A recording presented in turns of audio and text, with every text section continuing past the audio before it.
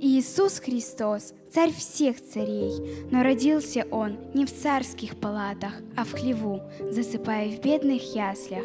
Да, он вел простую жизнь здесь, на земле.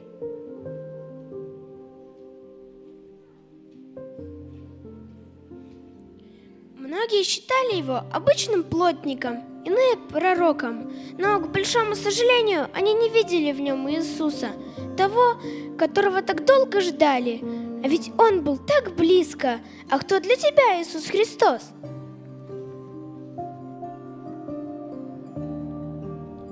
Но он не был простым человеком. Иисус – Сын Божий, и в 30 лет, начиная свое служение, он крестится в Иордане. В тот же момент на него сходит Дух Святой и, раздает, и раздается глаз небес. «Се – Сын мой возлюбленный, в котором мое благоволение».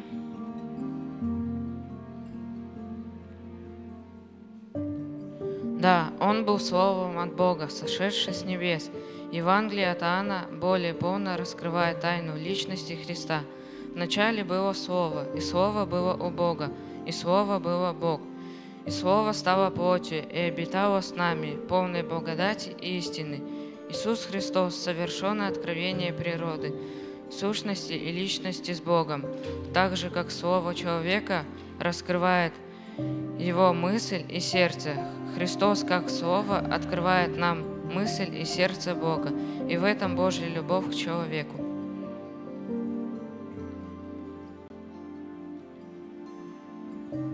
Говорил Иисус к народу, «Я свет миру. Кто последует за Мною, то не будет ходить в тьме, но будет иметь свет жизни».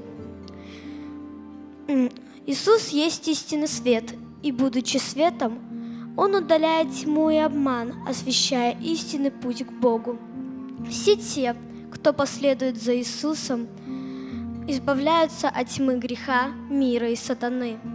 К сведению, фраза Христа «Кто последует за Мною» в оригинале имеет глагол настоящего времени и предполагает постоянное следование. Иисус признает только постоянное ученичество –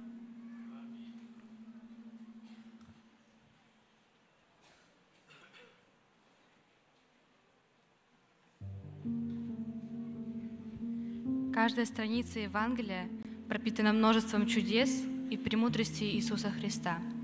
Он благовествовал нищим, исцелял больных и сокрушенных сердцем, слепым давал прозрение, пленным – освобождение. Он отпускал измученных на свободу, воскрешал мертвых, провозглашал время истинной свободы и спасения от господства сатаны, греха, страха и вины, проповедуя о Божьем Царстве – крайне важно заметить, что эта работа продолжается по сей день. Ее масштабы охватывают всю землю. Поэтому есть еще время благоприятное для твоего спасения. Мария же, взяв фунт нардового чистого драгоценного мира, помазала ноги Иисуса и отерла волосами своими, и дом наполнился благоуханием. Господь заповедал – чтобы история о том, как Мария помазала ему ноги драгоценным миром, сопровождала проповедь Евангелия. Но почему? Это пример веры, преданности, посвященности и величайшей любви к Учителю. Это и есть самое ценное в наших отношениях с Иисусом.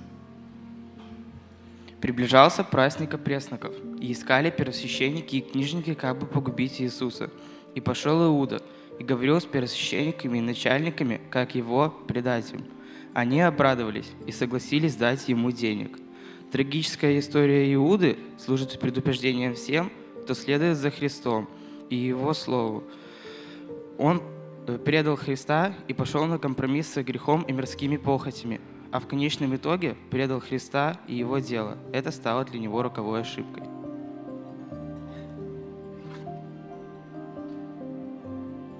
Но Он изъян был за грехи наши и мучен за беззаконие наши. Наказание мира нашего было на нем, и ранами его мы исцелились. римские бичевание заключалось в том, что обнаженную жертву привязывали к столбу или перекидывали через низкую скамью со связанными руками. Орудием пытки была короткая рукоятка, которой были прикреплены кожаные полосы с металлическими или костяными наконечниками.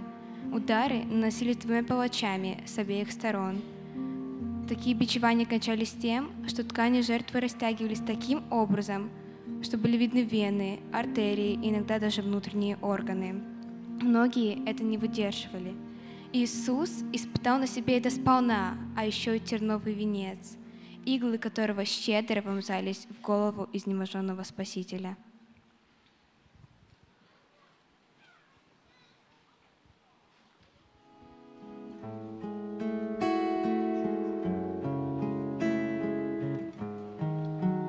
Что ты сделаешь Богу распятому?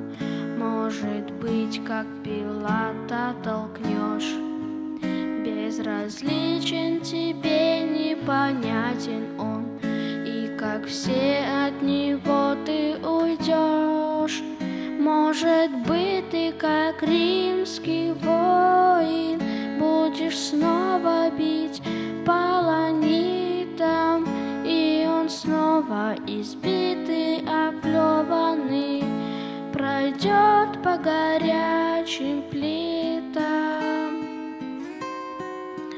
Неужели и ты скажешь Богу, Став поодаль, как те все прочие, Поживу без тебя немного, Надоела мне жизнь непорочная, нему повернешься спиной.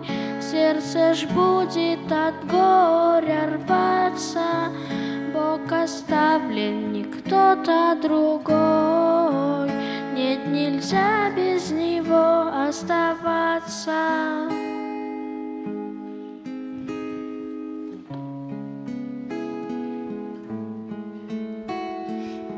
Неспособность Иисуса нести тяжелый деревянный крест, без сомнения, объясняется этими жестокими мучениями. И когда пришли на место, называемое лобное, распили его. И Иисуса положили на крест. Гвозди вошли сквозь руки глубоко в дерево. Затем крест вместе с телом подняли и прибили ноги гвоздями. Теперь Иисус сделан зрелищем. Он истекает кровью. Все его тело покрыто ранами. Часами он испытывал боли во всем теле, омертвение рук, страшные волны судорог, проходящие по всем мышцам.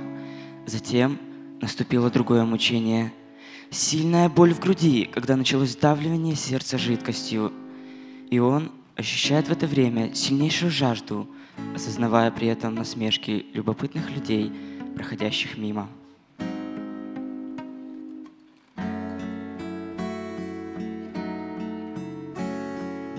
Его возглас на арамейском языке «Боже мой, Боже мой, для чего ты меня оставил?» свидетельствует о том, что он испытывает отверженность, отделение от Бога, как заместитель грешника.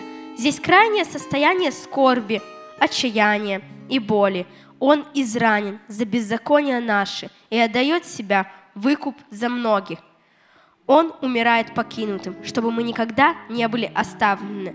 Так мы искуплены страданиями Христа. Ради этого Он пришел, свершилось, Он победил.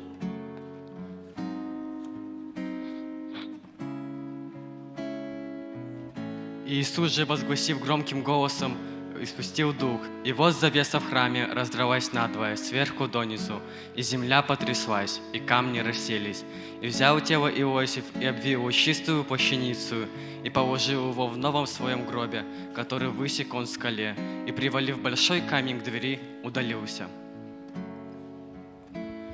Братья и сестры, у меня ничего нет, потому что Иисус Христос в третий день воскрес. Его нет в гробе, Он живой, живой. Пасха – вечная победа Иисуса Христа над грехом и смертью. О, если бы людям по-настоящему открылась суть этой победы, они бы толпами бежали к Иисусу Христу в молитвах покаяния, принимая спасительную благодать. Но Бог хочет от нас веры, живой веры. все грядет с облаками, и узрит его всякое око, и те, которые пронзили его, и возрыдают пред ним все племена земные. Аминь. Слава Иисусу Христу!